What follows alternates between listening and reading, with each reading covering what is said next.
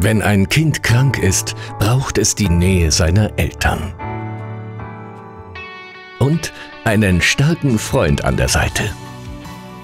Mit einer Spende von 25 Euro können Sie einem kranken Kind einen kuscheligen Tröster schenken. Die Spende kommt dem Ronald McDonald Haus und der Oase Passau zugute. Familien schwerkranker Kinder finden hier ab 2015 ein Zuhause auf Zeit, während die kleinen Patienten in der Kinderklinik behandelt werden. Nähe hilft heilen. Helfen auch Sie mit Ihrer Spende.